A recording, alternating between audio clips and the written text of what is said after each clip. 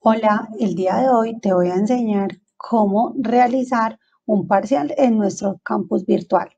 Vamos a nuestro campus virtual e ingresamos con nuestro correo institucional. Luego de ingresar en nuestro correo institucional, vamos a buscar nuestro curso en el cual vamos a realizar el parcial. En este caso, lo voy a realizar en el curso de práctica. Para ello le debemos de dar activar edición y luego buscamos nuestra sección en la cual vamos a colocar el parcial. En este caso lo voy a realizar en la sección número 1. Voy a colocar añadir actividad o recurso, luego le voy a dar cuestionario y vamos a dar agregar. Pasos importantes para tener en cuenta. Vamos a colocar el nombre del parcial. En este caso voy a colocar parcial número 1. Si deseas describir algo sobre el parcial, lo puedes hacer en este apartado. Le vas a dar mostrar descripción en la página del curso. Vamos a colocar temporizador, es decir, el tiempo en el que se habilita el cuestionario y el tiempo en el que se cierra el cuestionario. Para este caso voy a colocar que el día de mañana lo vamos a abrir a las 20 horas y se va a cerrar a las 20 horas y 37. Asimismo, podemos colocar que cada vez que el estudiante está realizando su, eh, respondiendo el cuestionario, le dicen qué tiempo hace falta. En este caso voy a colocar que el cuestionario solamente va a estar 10 minutos. Vamos a colocar calificación. ¿Cuál sería la calificación a aprobar? Si nos vamos para el reglamento estudiantil, sería 3. Y eh, si deseas colocar otro tipo de observaciones, acá pueden colocar el esquema de las preguntas, la apariencia y demás. Para este caso solamente vamos a hacer estas dos opciones. Vamos a colocar guardar cambios y regresar al grupo. Cuando nuestra plataforma nos haya colocado en nuestra, en, nuestra eh, parte inicial, vamos a realizar lo siguiente. Buscamos nuevamente el parcial, donde dice parcial, y vamos a colocar donde dice parcial, le vamos a dar Enter. Acá nos dice agregar cuestionario. Vamos a agregar cuestionario y vamos a colocar la calificación final, en este caso con nuestro reglamento estudiantil de 5. Uno de los tixitos es que en el numeral siempre debe estar con coma, número, coma y el decimal. Vamos a colocar agregar una nueva pregunta y hay varias opciones. En este caso les voy a mostrar las primeras cuatro, cuatro opciones. Primera opción de, eh, de opción múltiple.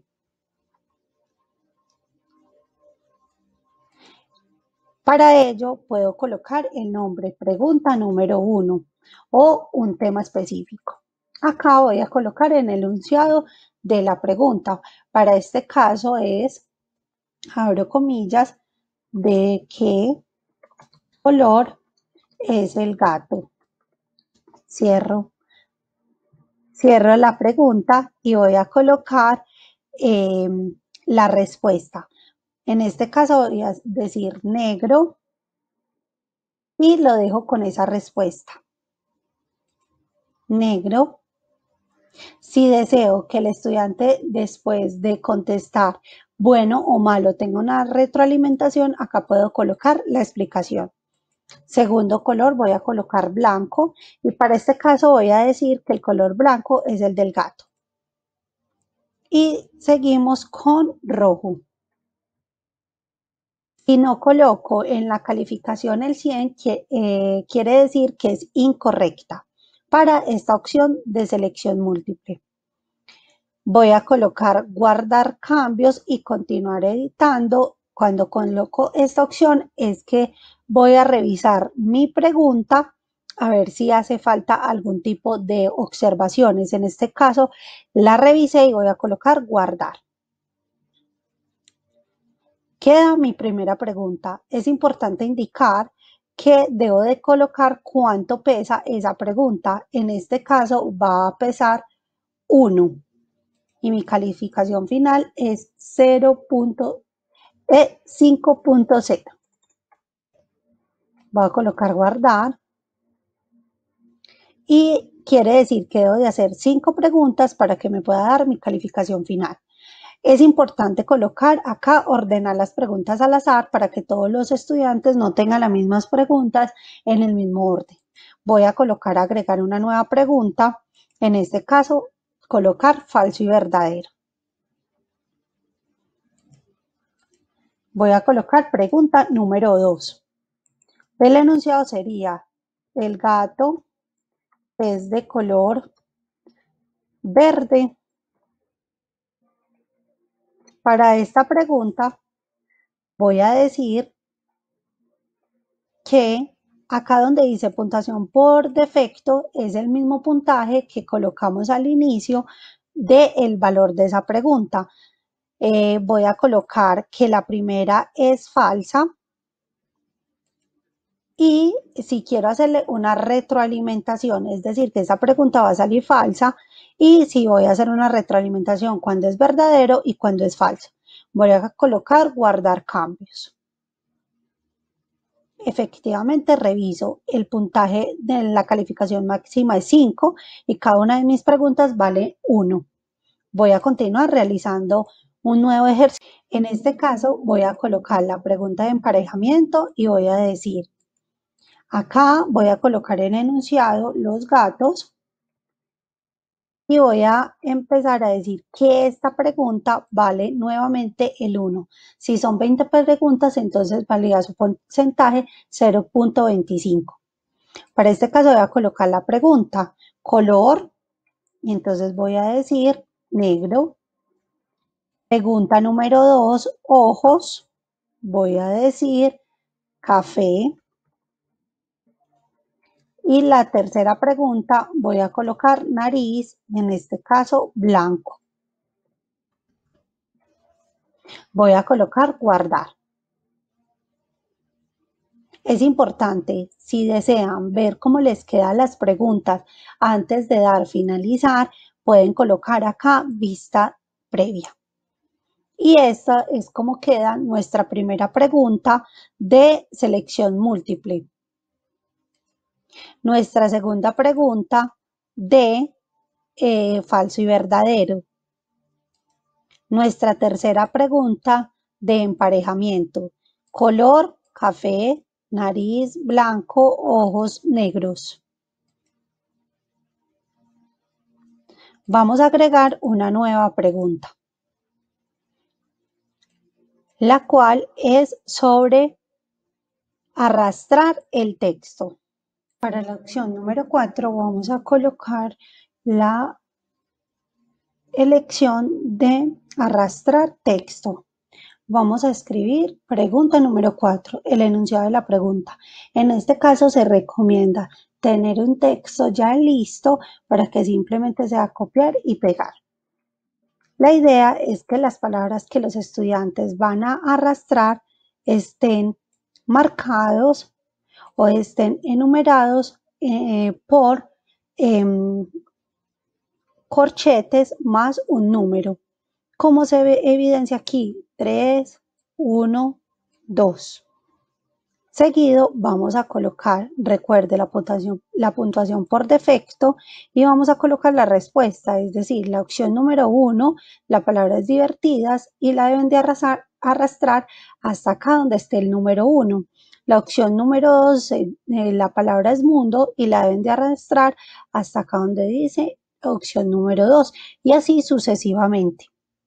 Cuando deseamos colocar más palabras, podemos colocar en la opción donde dice ampliar más de tres opciones. Vamos a colocar guardar cambios. Vamos en cuatro preguntas y vamos a observar cómo quedó nuestra cuarta pregunta. En este caso voy a colocar vista previa. Esta es la opción como los estudiantes pueden observar sus eh, la pregunta. En este caso deben de arrastrar las preguntas para que quede totalmente el enunciado claro, tal cual como nosotros se los mostramos a ellos. Vamos a hacer la última pregunta con nuevamente selección múltiple.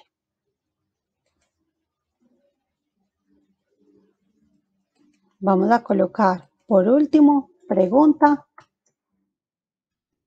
pregunta número 5 y vamos a colocar de qué color es la nariz del gato.